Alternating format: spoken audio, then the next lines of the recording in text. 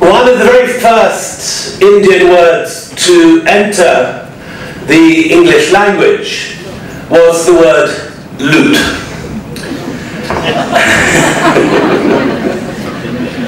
loot uh, was a word unknown outside the uh, Hindustani heartlands uh, until uh, the mid 18th century.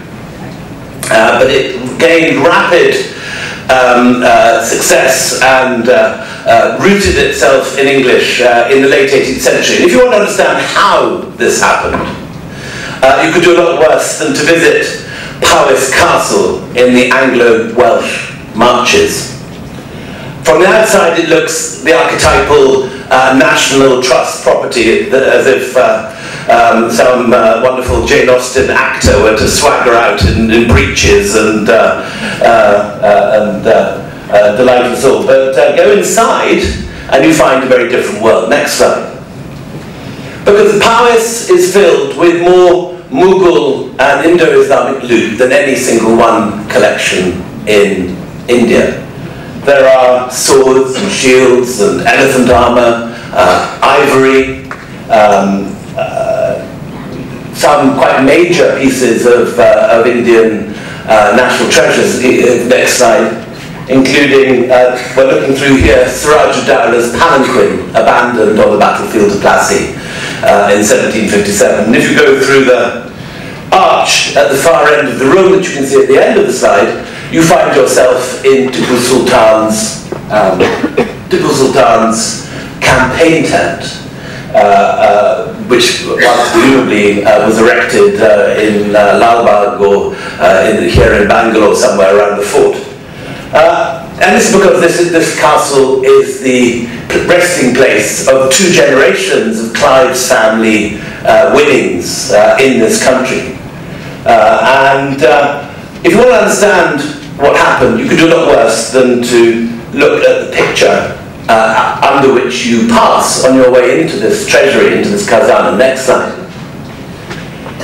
It's not a very good picture uh, by Benjamin West, an artist who characteristically never went to India. Uh, and when it was first, uh, thank you, and when it was first um, put up uh, in the National, uh, in, not the National Gallery, in the Royal Academy, uh, one critic pointed out that the dome in the background had more in common with uh, our venerable St. Paul's, he wrote, than anything you were likely to see in India. But what it shows is very important. In the centre, you have a Mughal emperor in cloth of gold handing a document to a slightly overweight, powdered and periwigged Georgian gentleman. And this is uh, Clive, Robert Clive, passing the Diwani to sorry, this is Shah Alam passing the Diwani to Robert Clive. Uh, and uh, this is really a crucial moment in the history of both countries. From the time of Pliny, who complained that Roman ladies had developed an insatiable taste for uh, Indian diamonds to hang from their ears, uh, sandalwood bodies to uh, rub on their skins, sandalwood paste to run, uh, sandalwood paste to rub on their bodies, and um, uh, silks to wrap themselves in. From that time, gold and silver gushed from the west to India. Until this moment, when it was as if a switch was turned and the gold started heading in the opposite direction. Because this document, known as the Diwani, which is a word that means really nothing to anybody either in Britain or in India today, uh, but which, I suppose, translated into modern English, you could call it a document of involuntary privatization, uh, was forced onto Clive, onto Shah Alam by Clive after his defeat at the Battle of Buxar.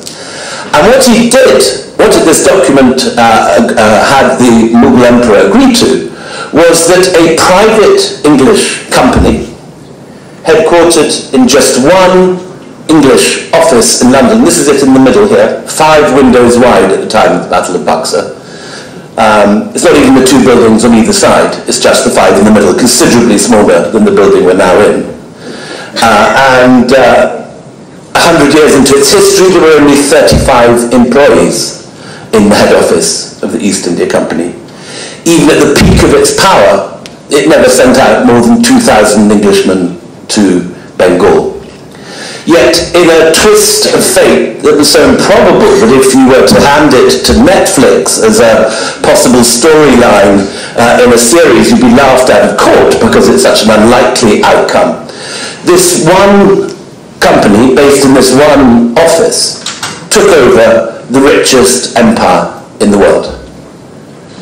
At the time of the founding of the East India Company, the Mughal Empire was generating around 28-29% of world GDP. England was generating just under 7%.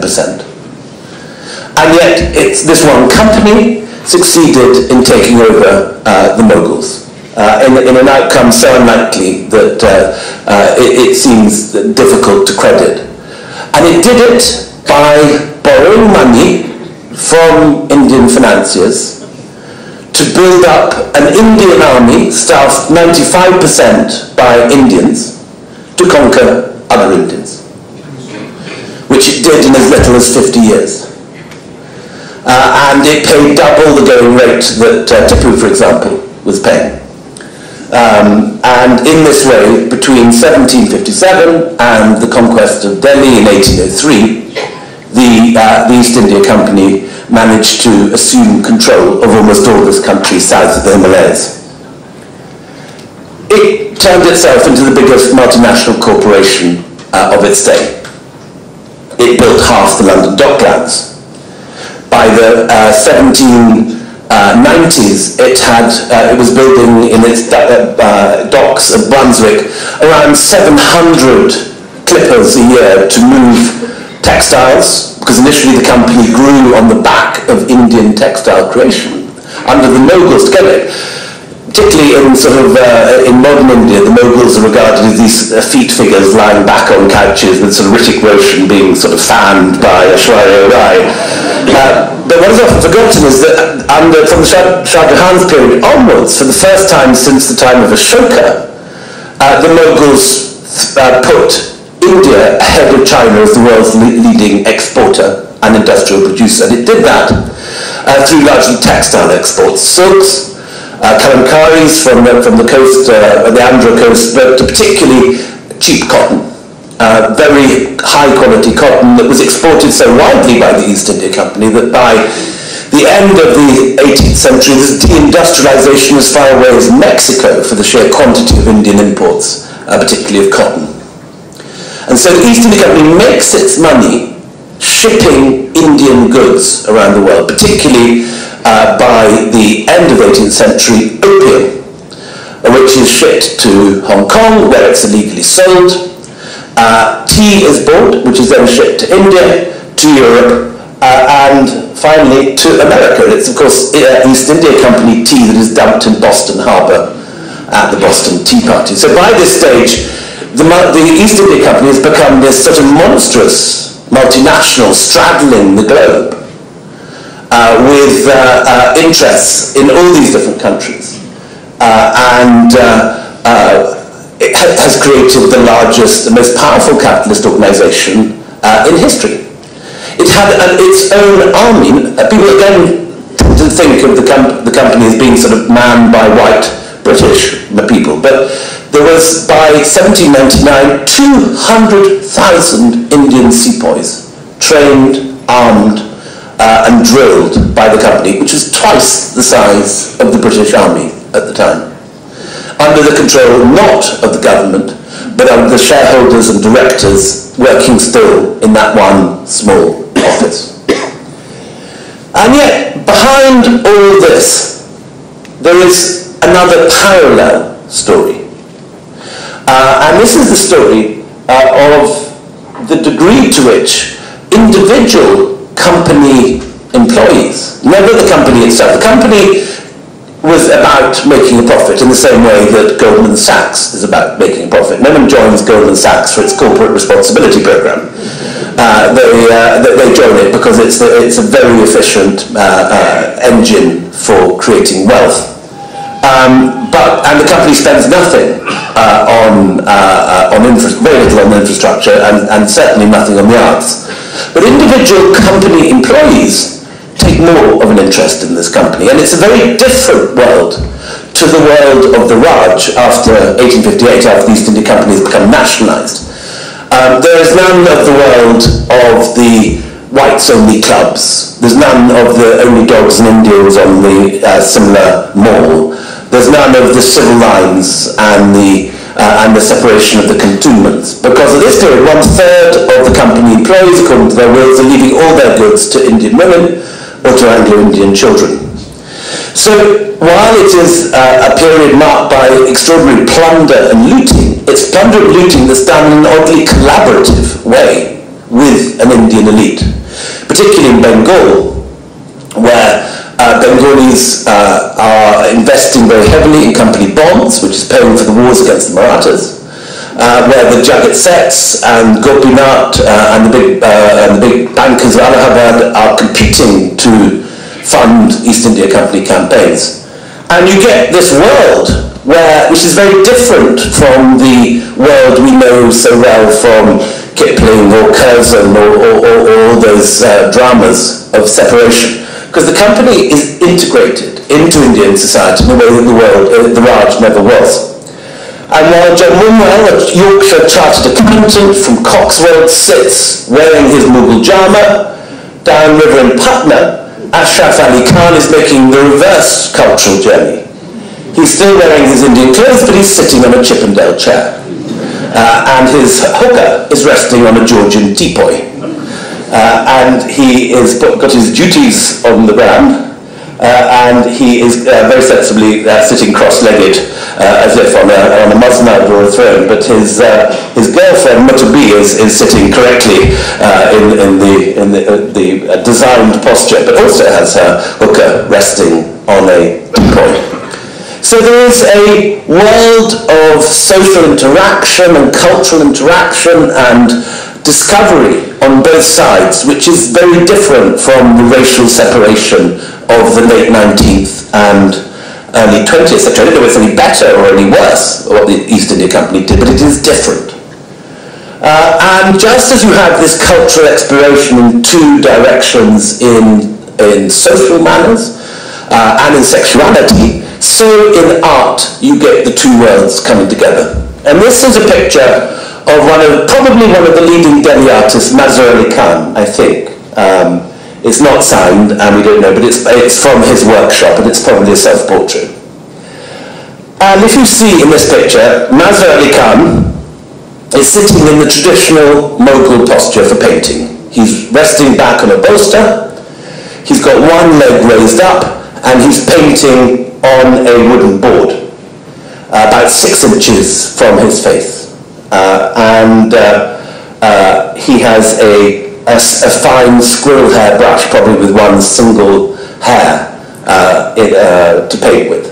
But if you look carefully at what he's painting with, on the ground, either side, in the middle of those two set boxes, are Mughal pigments made of uh, ground minerals such as lapis and malachite and so on.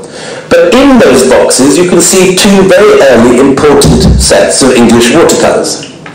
He's also wearing English spectacles, uh, and uh, the album which this is part of is drawn on Whatman's English watercolour.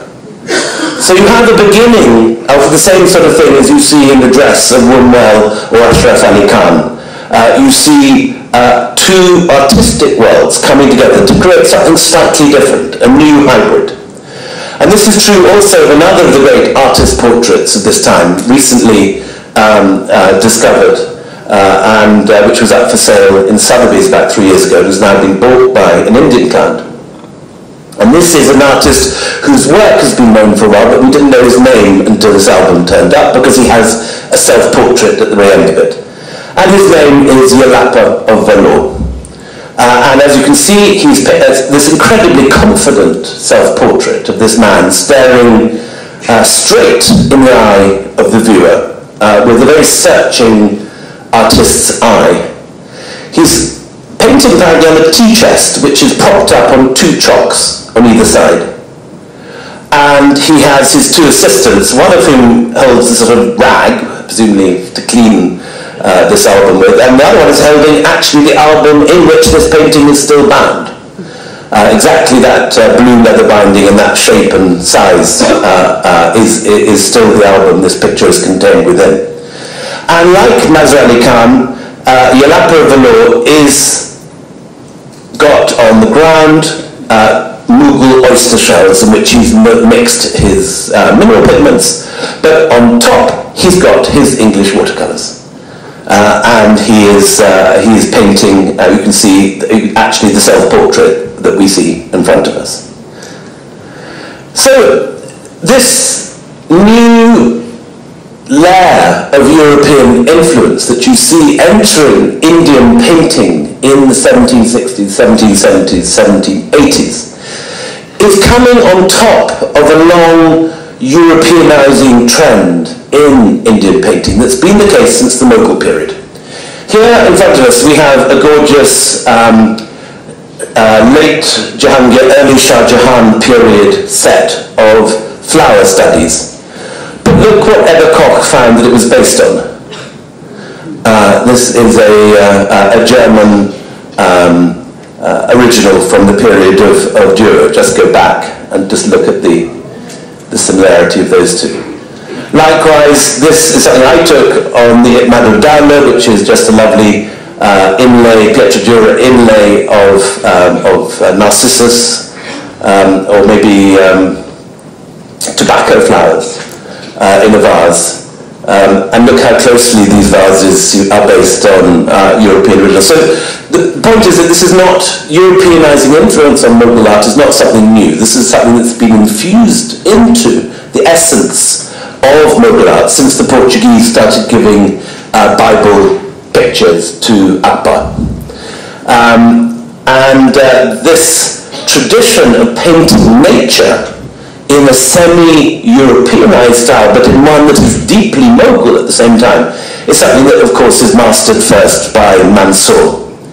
And we get, with Manohar and Mansour and the artists of the Jahangir period, um, this wonderful variety of animal portraits. So there's a, a strong indigenous Mughal tradition of painting flowers and painting uh, animals, but they always tend to be in a landscape, often a paradise landscape. It isn't a realistic landscape, it's a landscape filled with irises and narcissuses, with, with bees and butterflies flying around. Um, uh, these peacocks um, are, incredibly full of life, but they're in a landscape. It's not a white background. These are accurate botanical studies, but they're also sort of animal portraits. Um, and they capture the essence of the bird or the beast as much as its scientific reality. Which meant that when English botanists and zoologists wanted to use Indian artists to record the new world that they had found, they already had a deep pool of artistic talent who were not just painting nawabs and court scenes and emperors and, and, and gentlemen in armour on, horse, on horseback. There was a, a very strong Mughal tradition of painting animals, usually in profile, usually in landscapes, um, but accurately depicted with every single pattern or every single feather beautifully expressed. So when Claude Martin decides to start getting Indian artists to paint botanical pictures, he has two ideas in mind. On one hand, he's just imported from France uh, a book called Les Oiseaux de France, which is a four-volume book of botanical and zoological specimens, but mainly um, uh, centered around these wonderful bird studies. Uh, and Claude Martin, as you all know, the man who started the La Martiniere School and uh, this famous French businessman, philanthropist, man of enlightenment, uh, was a man who took his learning and arts very, very seriously, as well as making a fortune in armaments uh, and, uh, and building some gorgeous buildings in Lucknow. Uh, he also um, kept very strongly abreast of current scientific thought in Europe. So when he finds that the Montgolfier brothers have put up a hot air balloon in Paris, he gets the scientific journals in which they put their uh, their studies in, he gets it imported to Lucknow, and he puts his own hot air balloon up 10 years later. Even more remarkably, when he finds himself having crippling stomach aches, he reads the scientific journals and then extracts his own appendix um, uh, uh, uh himself using a scalpel uh, and lives to tell the tale. Um, and Thomas from his base, La Martiniere, uh, the current La Martiniere school, which was his, he built as his final house and, and, resting place, had not yet been built in the 1770s. Uh, and initially he was based on this building on the left, which was the, uh, called the, um, the, what's called the Chateau de um, Marseille, whatever, whichever French town he was from. Uh, and in this town, he, in this building, he collected artists and, and, uh, and this little salon is an example of Claude Martin's world. He is standing uh, three from the right in the red coat, pointing at a painting. Uh, behind him is the artist Zoffany, uh, painting uh, a picture uh, of a banyan tree. Zoffany, incidentally, is the only Royal Academician who was also a cannibal on his way back from India. He was shipwrecked and had to eat one of the sailors who was uh, shipwrecked with him. Uh, this was a detail he didn't advertise when he got back home. Uh, then on the left is Colonel Polier, and Polier is an extraordinary figure. All his letters survive, and he was one of the very first to um, employ Lucknow artists to record the world around him. Uh, and um, he uh, employed a whole variety of Lucknowi masters. a lot of the work survives in the Bibliothèque Nationale in Paris uh, and also uh, uh, in, in various English collections. He only made one big mistake, which was to return um, to France and build a very large, buy a very large chateau in 1788, one year before the French Revolution. Uh, and he subsequently uh, suffered the, the, the wrath of the guillotine. Uh, so he has an unhappy ending. So this little Enlightenment world is full of Europeans in touch with Enlightenment thought in Europe, but operating in a Mughal world uh, where they're employing Mughal artists, and Claude Martin is the first that seems to have made the, the, the realization that he can get European-style animal portraits. This is incidentally the period when Linnaeus is still alive in Sweden, classifying the different, uh, naming the different names, finding scientific ways of classifying different genuses of plants and so on.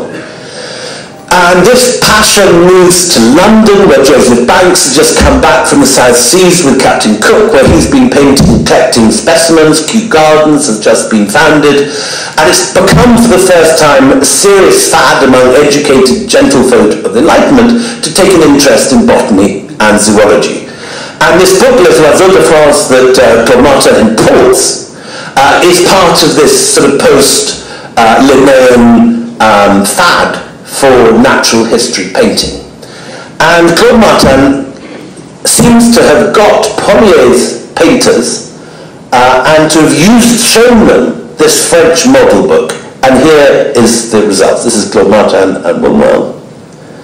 This is the first Claude Martin commission that we have, probably from about 1765-70.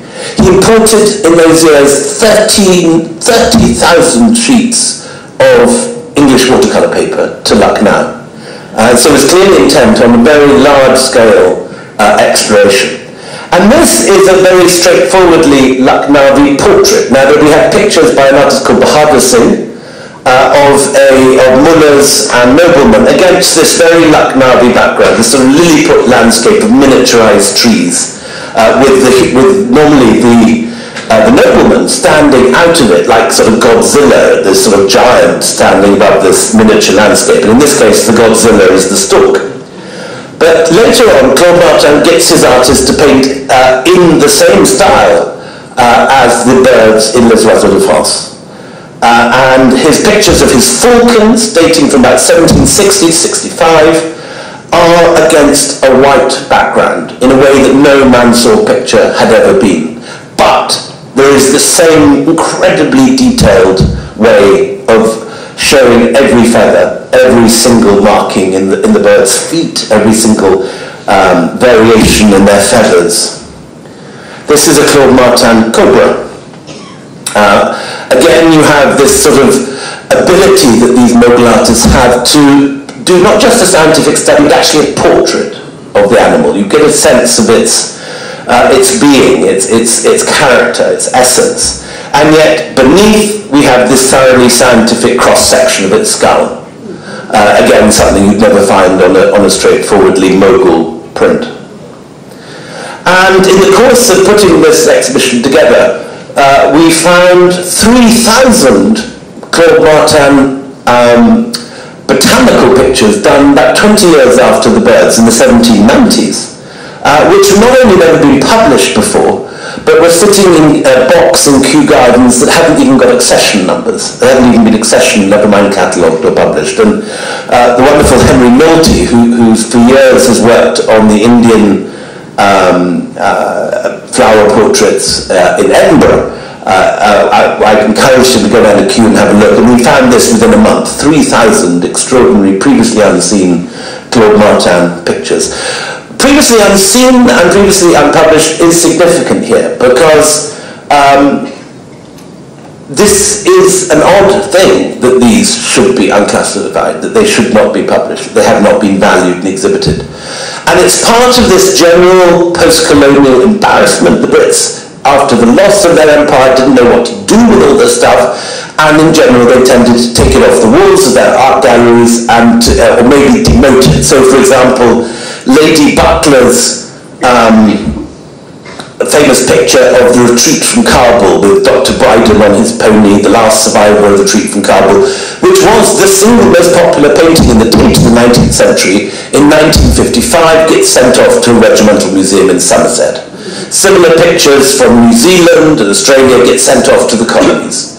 Uh, and there has never been an exhibition of what used to be called company school painting. Not a phrase, incidentally, we use at any point in this exhibition because we think it privileges the company over the Indian artists. We try and emphasize in this exhibition the extraordinary talent of Ghulam Ali Khan, Yellapur Vellore, these artists who have names, who have biographies, and who deserve to be known uh, like the greatest artists uh, of Europe, like uh, uh, Raphael or Michelangelo or Leonardo, these should be names that run off people's tongues and, and people are taught in school.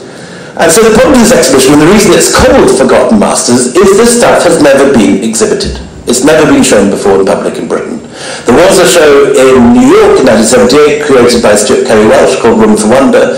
There was one last year in uh, Mumbai, and there will be another one in Calcutta using the Victoria Memorial collections in a couple of years.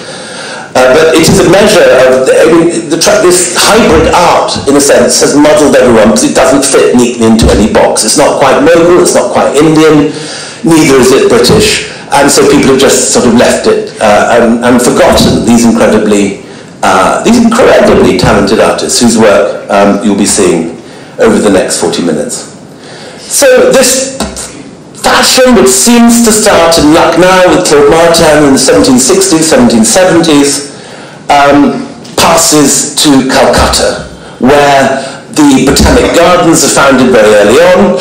Um, like everything to do with the company, it's primarily about money, it's about trade.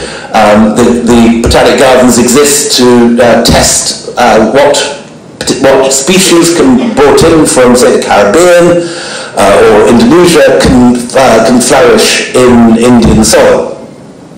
But these botanic gardens are run by a succession, particularly Scots, uh, but botanists who have their own scientific interests. So while working for a capitalist corporation that is only interested in profit, they use the opportunity to explore the natural world around them, partly presumably with a view to making their reputation as great botanists. You know, Joseph Banks at the same period had become one of the most famous scientists in Britain thanks to his, uh, his exploration of the birds and, and, uh, and beasts of the South Seas.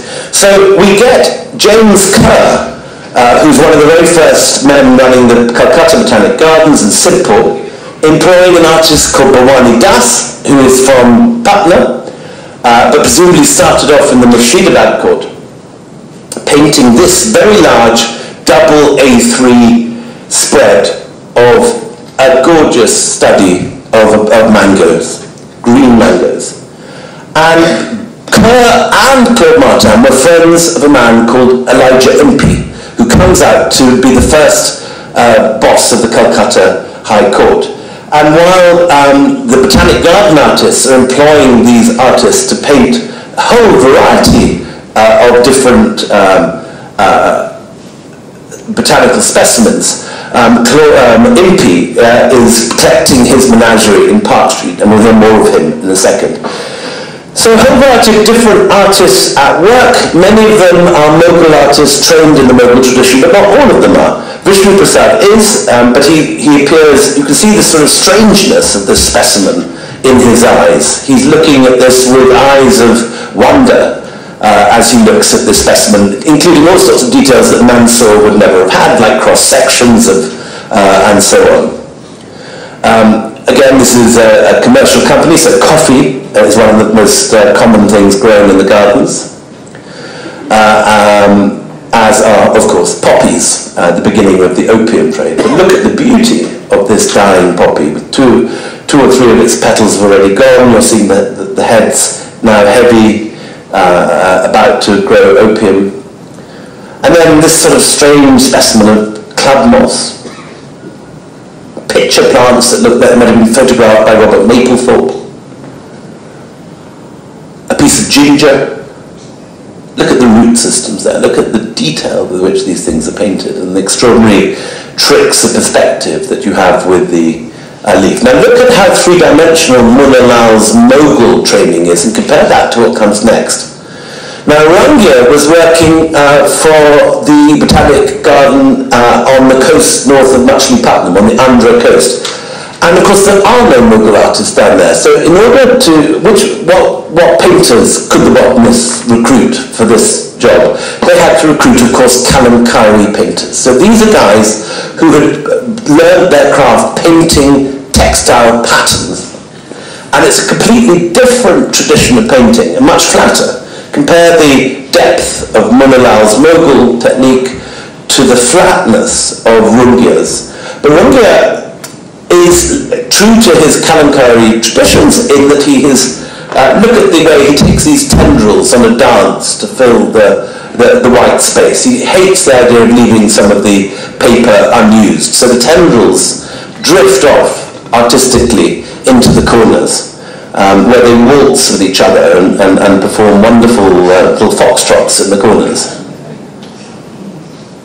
We get uh, Vishnu Prasad doing these gorgeous uh, fan palms, pandanus palms, and this is the efflorescence of the pandanus palm. These are, these are uh, pairs of pictures. And here we finally come to Lady Impey. So Lady Impey arrives aged 18 in Park Street uh, she's married this much older, much richer man, um, and her big passion when she was growing up in Oxfordshire was the birds and beasts. And she kept a little nature journal before she came out.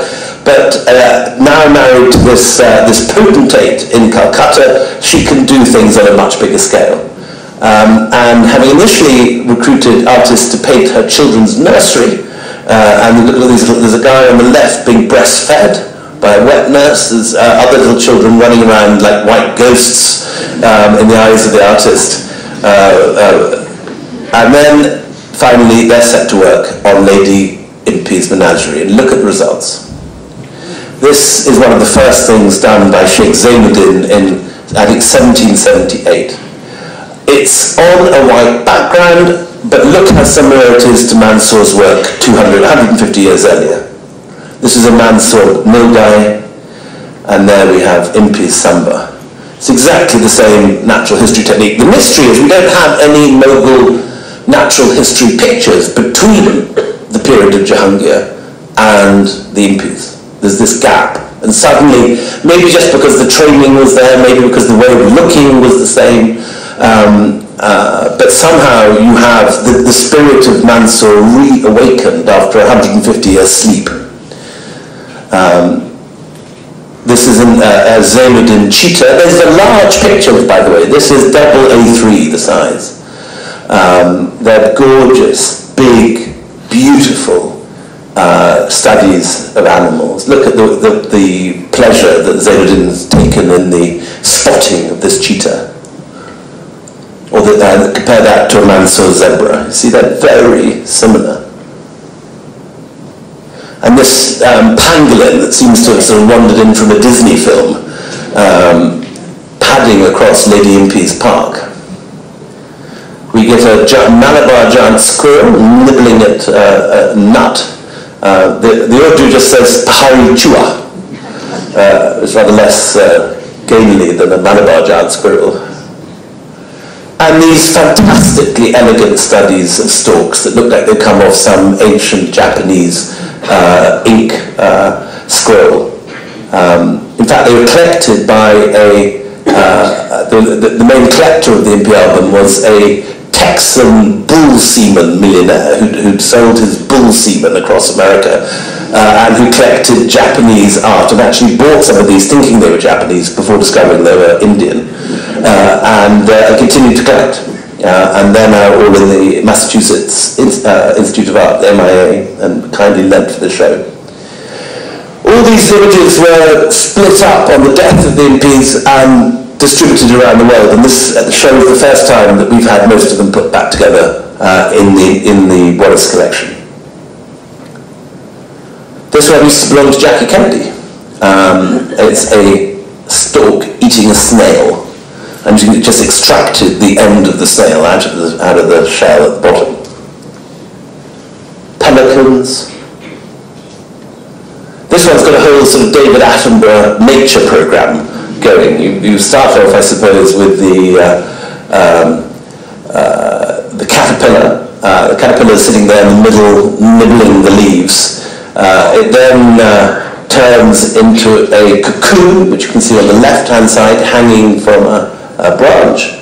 Uh, then um, pupates into this gorgeous uh, uh, moth, uh, and then is about to be eaten by this bird. So the whole sort of life cycle of this animal in one wonderful study. Uh, this one always makes me wonder whether these birds were painted from life or whether they were painted dead. Um, this incredibly beautiful fan of the uh, of, of the uh, uh, wing and the way that the bird is, is cleaning under the wing could be a study taken from life, uh, sitting in a Lady Impey's parkland, or it might have been um, a dead, a dead bird fixed in rigor mortis in that slightly uncomfortable position. I don't know. Audubon in, in the States, later than this, painted mainly from dead specimens, and uh, particularly when we get to some of the creepy crawlies, I imagine that they probably preferred to paint them dead, but we'll see the snakes in a minute. This is a wonderful Sheikh Zainuddin black hooded oriole with the, the yellow uh, of the bird reflected in the bark uh, but can you see almost invisible the camouflaged insect, insect on the left-hand side of the tree trunk, um, whose two um, feelers are propelling up. Uh, it's a gorgeous piece of work. Now this looks like it should be attached to Sigourney Weaver's face in, a, uh, in some uh, uh, sci-fi movie, but it is in fact Sheikh Zainuddin's study of a horseshoe crab, with all the horror uh, that the Sheikh seems to have felt for this creature emanating from this very sinister image. And uh, it does, at some point, Sheikh Zainuddin seems to, who seems to be like a grand figure, um, and, and a master artist, called two assistants to come and help him. And poor Bhawani Das and Ramdas give him the creepy crawlies and the snakes to paint, uh, while the Sheikh paints the nice big comfy mammals. Um, so this is Bhawani Das who's given the cobra. Um, and this horrible, uh, threatening-looking banded krait. And this is my favourite of all. This fantastically masculine bat uh, with his arm outstretched as if rather than some creature from a uh, uh, colonial menagerie, uh, if he is instead some commendatore uh, ushering a woman into an Italian opera house with all the panache. Have you ever seen such a, uh, such a dashing bat in all your travels? And this is his girlfriend. and this is his mother-in-law. Bhawani Das again gets given the lizards and the kind of slightly creepy catfish and the puffer fish. And, and at some stage, Zainuddin packs up and goes back to Patna, leaving Ramdas and Bhawani Das to finish the commission. So he starts in about 1778, uh, and Ramdas comes, I think, in 1780, and they're still painting in 1782, finishing off the, uh, the, the river fish and other strange creatures of the Bengali waterways. Meanwhile, another, uh, this, the, the uh, this fad, uh, this, uh, this uh, trend has been picked up by, um, by other collectors. Uh, Lord Wellesley, arriving in Calcutta, starts a menagerie himself in Barrackpore, and in the original stipulation that he lays down to the government, he, he puts money aside for artists to paint the Barrackpore menagerie.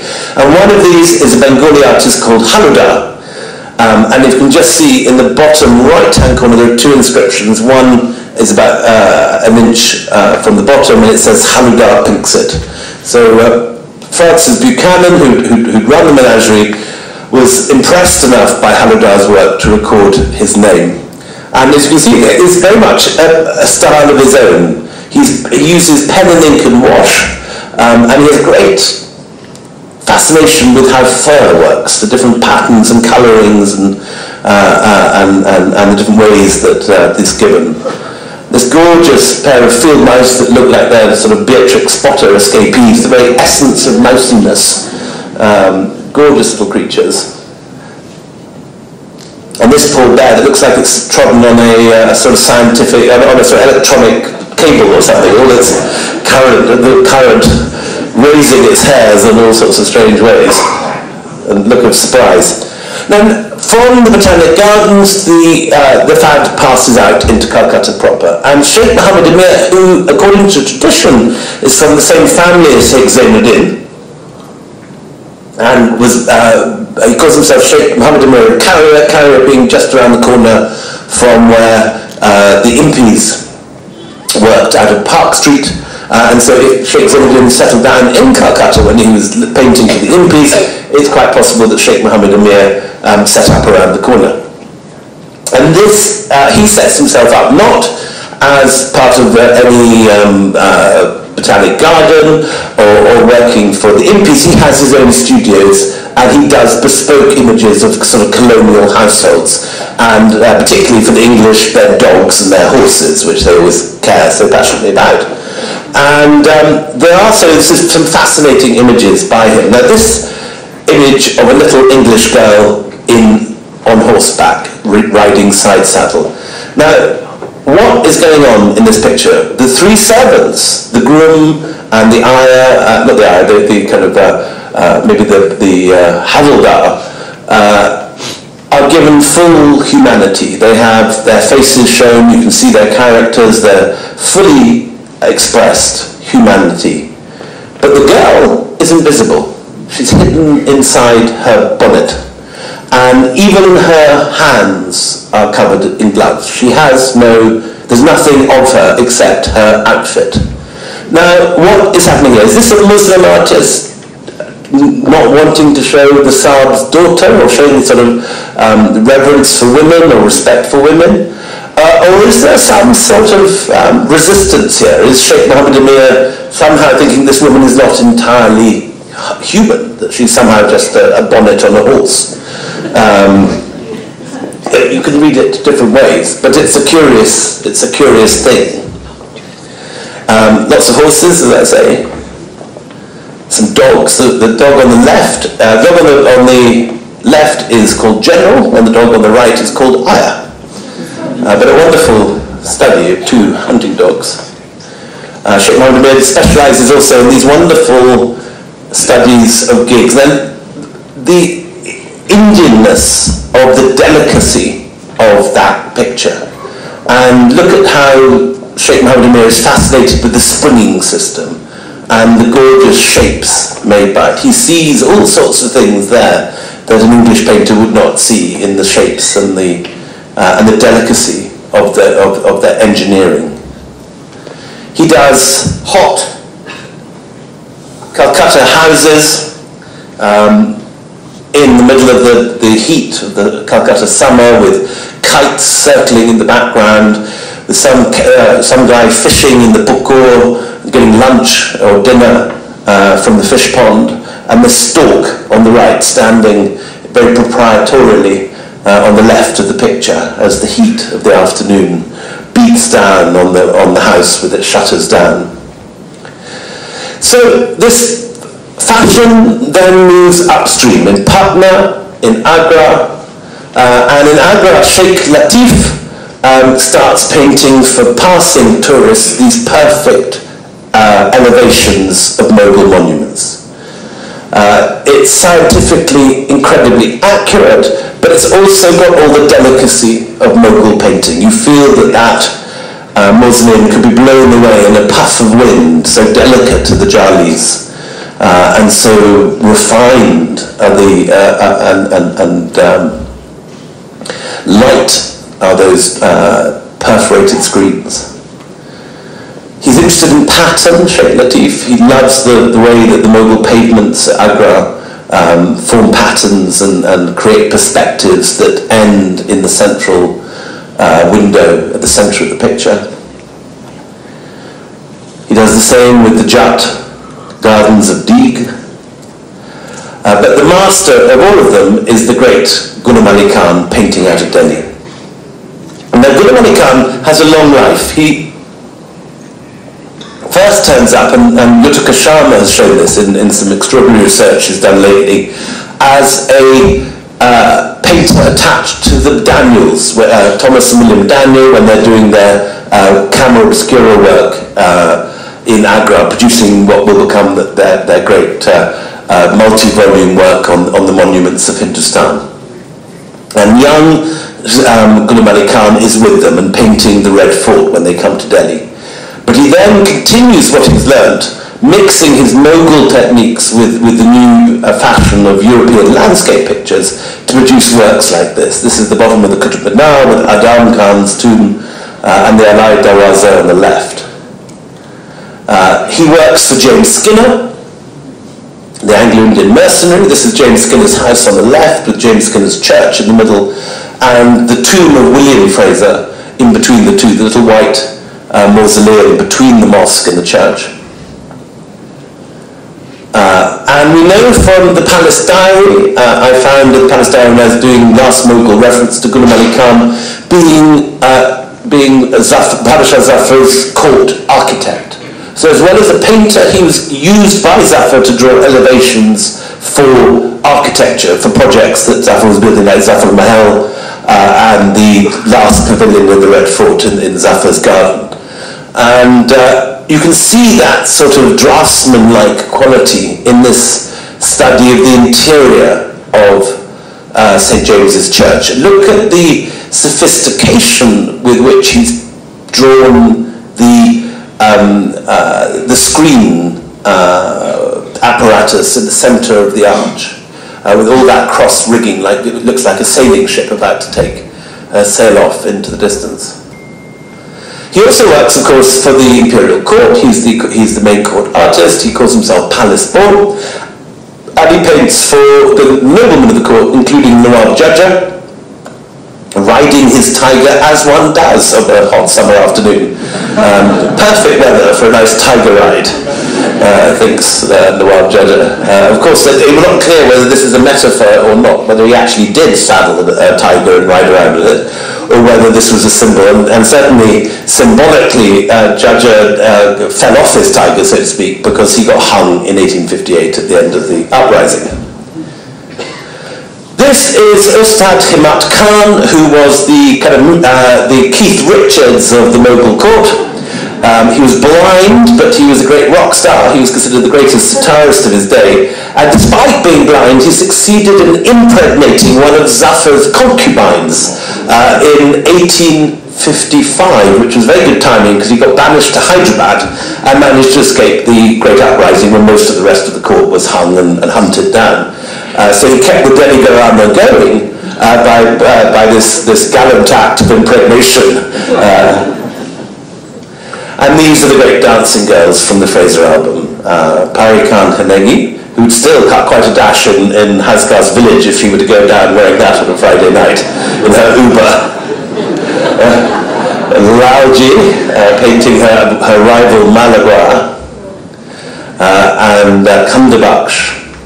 And this is all the work, uh, uh, commissions from the Fraser family. And William Fraser was the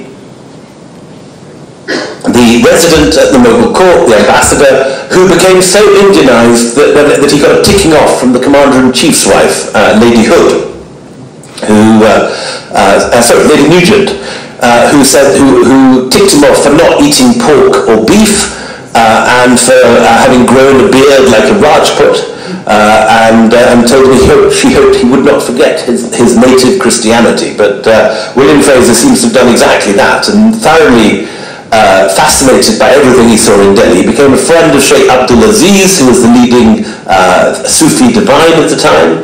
Uh, he spoke perfect Persian and Hindustani, and he worked with his best friend James Skinner to raise Skinner's horse. And his troops and Skinner's horse were, were interchangeable. Uh, this is his, his bodyguard Kala, who saved his life by killing a tiger with that sword.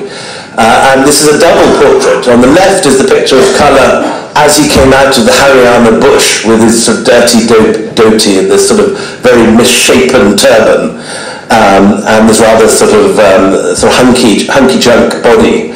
Uh, and there on the right uh, is after a shampoo and blow dry and a little session at the Oberoi, uh, at the Oberoi salon, um, wearing his Napoleonic outfit uh, with this odd sort of Shaivite hat.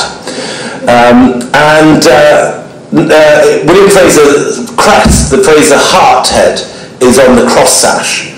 Uh, on that badge that he's wearing. So it's, it's, he's shown before and after. Incidentally, Fraser had a great fascination for Napoleon. And when he found that Napoleon had been given no books by his jailers on St. Helena, he packed up his entire Oriental library and sent it off to St. Helena as a present for Napoleon. Uh, and it sank on the way, but Napoleon got to hear uh, that he'd sent the, all these incredible presents. And as a thank you, he sent his signet ring uh, and the last uh, statue he had of himself, which was a bust he commissioned earlier from Canova. So the, the signet ring and the, and the bus turned up in Delhi three years later. Um, and then when it got, after, after Fraser's assassination, it was bought or was taken by Thomas Metcalfe. And when Metcalfe House burnt down in 1857 during the uprising, uh, it disappeared and was found in 1858 being worshipped in a Shiva temple as an image of Mahadev. Sadly, what happened to it after that is not recorded. I mean, there is no, there is no Canova Napoleon bust in Delhi today, as far as I know. But uh, uh, somewhere there must be this famous Shaivite Napoleon. I'm very intrigued by these hats, which, which um, someone uh, who knows the stuff better than I should be able to tell what, whether is, is, is that half moon necessarily Shaivite, but put with a tiger skin? Is that meant to denote some sort of uh, sectarian uh, affiliation, or is it just decoration? But it's a very, these are very dashing chaps, as you can see. Um, this is Umi Chand. And again, you get these pictures of the recruits for Skinner's horse, half in, half out of their Haryanvi dhotis. Uh, uh, on their way to, one of them is wearing their smart new Skinner's horse outfit, and the rest are all as uh, new recruits, fresh out the fields. But Fraser also records noblemen. This is the young uh, Ajit Singh of Patiala. Uh, these are Afghan mercenaries. I love the guy, one from the left, armed to the hilt. He's got a pistol, three, two swords, a quiver of arrows, and a bow, um, and a prayer uh, rosary. Uh, and he's ready to take on anyone. Uh, I wouldn't like to run into these four on a dark night in Darya Ganj. and uh, this is them, these same guys from the village, halfway to becoming Skinner's Horse recruits. Uh, more figures from Patiala. And this is a fascinating one. Again, one of these pictures you can read in quite different ways. On one hand, this is a picture of colonialism in action. On the right-hand side of the picture, you've got William Fraser's two, his Dewan and his man of business, uh, surveying all the land records of this village in Haryana, Rania, where Fraser's girlfriend was based. And so all those bundle of documents in the front are the land grants, and people proving how much land they. And this is the kind of uh, uh, uh this is a, a kind of survey for tax purposes of how how much land everyone owned. Um, But equally, you can look at it as a very democratic picture because Mughal artists never painted portraits of villagers. We, have, we know what the noblemen look like, we know sometimes what the holy men, the Sufis look like, uh, we know what the generals look like. But you don't get this, which is individual portraits of ordinary villagers from the Haryana countryside. These faces are still there today. Uh, these clothes are still there today. Um, they're rapidly being replaced by baseball caps and jeans the closer you get to Delhi. And um, you can look at it as, as a picture of colonialism, you can look at it as the first democratic picture of Indian villages. Um, with not types, but these are, each one of these is a portrait. Each one has a number. You can see it most clearly in this slide to the right of the, uh, the, the, first figure on the, uh, to the, uh, on the right of the foursome at the top of the picture uh, has a number next to it. But each one of them is numbered and the names and the details of each is given. You have celebrity mendicants. Um, the, uh, uh, Lakshman Das was, uh, uh, didn't seem to have a chain of Ayurvedic stores like Patanjali or anything yet, but uh, is well on the way to, to being the uh, TV sadhu of his day. And this is, um, this is William Fraser's girlfriend, who was called Amiban. On the left, his daughter in the middle, and uh, Salabat Bhatti, who was the, her father, who was the headman of the village in Rania, and his, his Fraser's bearded mother-in-law on the right of the picture. Um, and again, these are kind of extraordinary intimate pictures of people who are part of Fraser's everyday life. He also had, a, had an arms business importing horses from Afghanistan, which he did with Ghalib's uncle and with um, uh, James Skinner. And, and, these are the Afghans who came down with the horses from the hills uh, every winter. So gradually, this mixed style, part English, part Mughal, gives way to increasing colonization. And the artist who shows the first signs of actually trying to copy the picturesque, which had done so well for the Hodges, is a Murshidabad artist called Sita Ram. The first works we have of Sita Ram are Murshidabad style. The second sort of phase is he's painting insects um, in Calcutta, and by the 1820s, he's learned to paint in this Europeanized picturesque, uh, in the style of the Hodges and the Daniells. And he, like those paintings, makes things up. This is no longer the strict scientific recording that you find with Sheikh Latif, um, recording exactly the elevation of the Taj.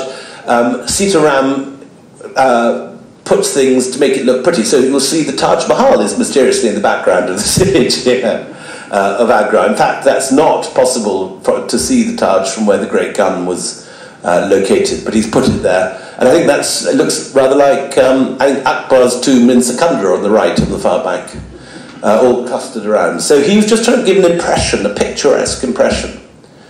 Uh, and we end up back where we started at La Martiniere. This is uh, the last of the Sita Rams. Uh, uh, this is a firework display put on for the victory at Amiens, uh, which Napoleon's first defeat in 18, 1805. Uh, and what's happening in the centre of the picture is Claude Martin's obelisk, which was built to, as a memorial, is still covered in scaffolding in the middle of the lake. But this, this Sita Ram seems to be channeling uh, Turner. You can see all the fireworks exploding in the background and the silhouettes of the people watching the firework display at the bottom of the picture with their arms outstretched in wonder.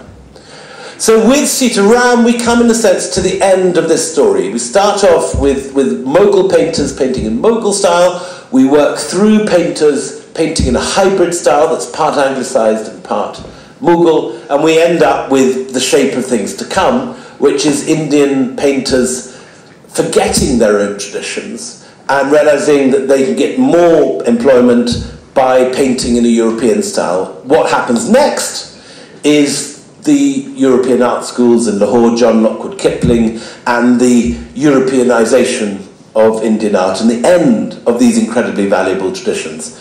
But the point of this show is to show that there is a period of transition where you have some of the greatest Mughal painters producing major artworks that have never been celebrated properly.